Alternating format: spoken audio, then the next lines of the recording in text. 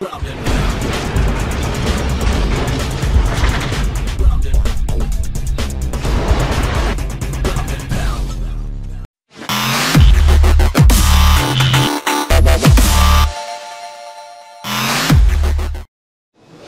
Tobias Gerold für Ground and Pound TV beim Day of Destruction Nummer 8 hier in Hamburg.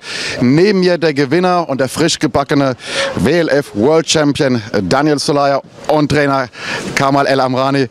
Daniel, ähm, man muss ja mal fairerweise sagen, du warst ja gar nicht geplant. Du bist Donnerstag, habe ich gehört, habt ihr zugesagt. Jetzt kommst du hierher und holst das Ding. Ähm, kannst du das schon irgendwie in Worte fassen? Was ist in Worte fassen? Es war halt äh, Glück, äh, harte Arbeit, Training. Äh, was soll ich dazu sagen? Das Glück war auf meiner Seite. Gut gekämpft, stark gekämpft, äh, durch K.O. in der dritten Runde gewonnen. Leider konnte Dima nicht antreten, äh, der Chinese auch nicht. Ähm, so kam der Gürtel eigentlich so mehr oder weniger zugeflogen. Ich war halt fit, wie ich schon kenne, im Training, jeden Monat einen Kampf, sogar wenn nicht sogar zwei. Äh, ja, dann war das halt für mich so komm, nehme ich mit, kämpfe ich. Eine, ein Kampf, ein Turnier mehr auf meiner Liste. Vielleicht kann ich absagen, ja, und ich hatte das Glück. Harte Arbeit.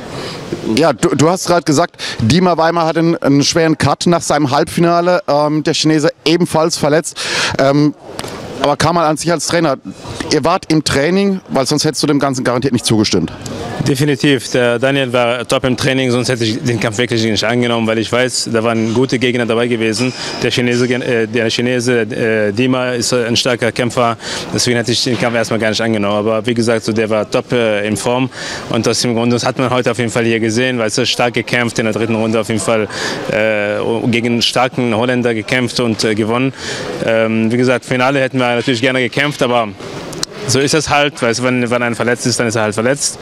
Dann kann er halt nicht kämpfen. Somit haben wir den Gürtel gewonnen und ich bin ehrlich gesagt stolz drauf. Äh, direkt äh, den ersten Weltmeister äh, bei, am Rhein äh, wir sind seit September haben wir geöffnet und direkt schon den ersten Weltmeister, da bin ich auf jeden Fall sehr stolz drauf. Du hattest deinen Gegner im, in deinem Halbfinale äh, mit den Low-Kicks ziemlich gut getroffen und da äh, war da das Gesicht mehr als schmerzverzerrt. Ähm, jetzt, wenn man von außen dazu guckt, dann sieht man das natürlich immer, sieht es immer so einfach aus. Mhm. Hättest du es vielleicht noch schneller zu Ende führen können, wenn du noch ein paar Low-Kicks reingeknallt hättest? Ich hätte schneller zu Ende bringen können, ja, das stimmt auf jeden Fall. Kammer hat mir auch gesagt, Low-Kicks nur ich wollte nicht überpacen, äh, den ganzen Kampf. Äh, ich wusste, es gibt eine dritte Runde, ich war am Führen. Ich wusste das, Kammer hat mir auch in der Ringecke gesagt, äh, zu, du bist am Führen, mach weiter so. Und ich wollte nicht unnötig in den Block treten, dass ich jetzt auf jeden Fall beim nächsten Kampf gegen Dima ein geschwollenes Schienbein oder Verletzung oder sonst ein Riss oder sonst was davon trage. Ich habe auf meine Chance gewartet, die kam in der dritten Runde, ich habe den Lock reingesetzt und dann war halt Sense und war vorbei. Und ich habe auf den Zeitpunkt gewartet und äh, habe ausgenutzt, leider Gottes.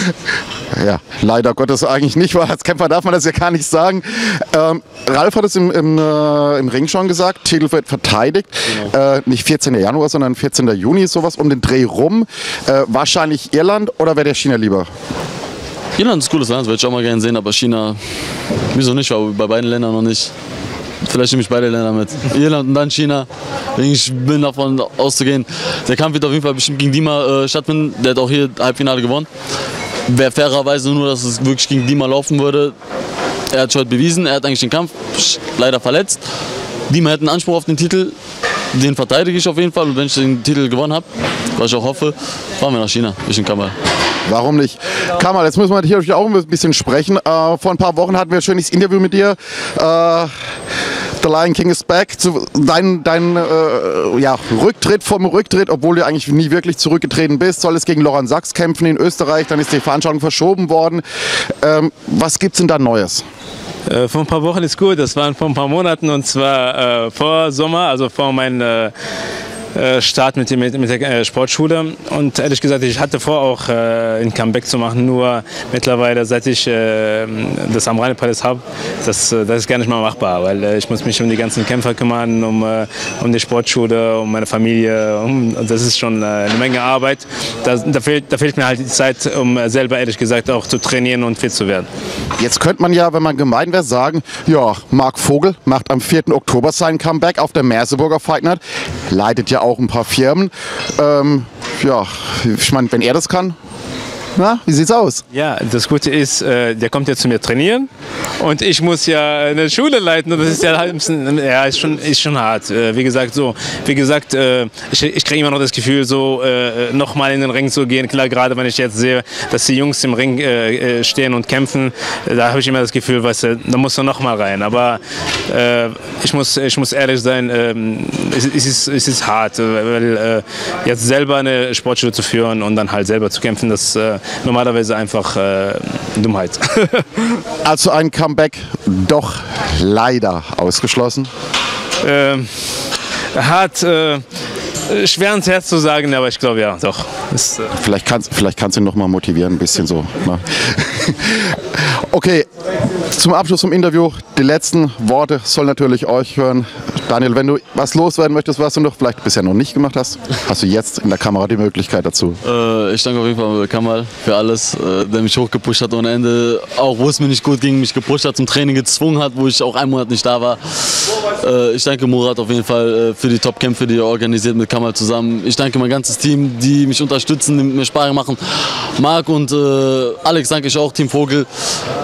Klasse, dass ihr da seid zum Sparring, zum Training. Immer eine Freude mit euch. Ich danke alle, meine Familie, und hauptsächlich auf jeden Fall Kammer, der mehr Vater und Trainer alles zusammen für mich ist und, ich hoffe, wir holen noch ein paar Titel nach Hause und äh, ja, Kammer muss nicht mehr kämpfen, ich mache ich mach den Job für den. Der Next genau. Line ist da. da. Dafür sind die Jungs jetzt da, genau. Ja, dann sage ich euch mal vielen, vielen Dank, dass ihr euch die Zeit noch genommen habt. Viel Spaß jetzt beim Feiern. Hamburg bietet ja viele Möglichkeiten dazu und ähm, ich gebe die Hoffnung nicht auf, dass es doch zum Comeback kommt. Vielen Dank euch beiden. Daniel Sulaya, Kamal El Amrani. Ja.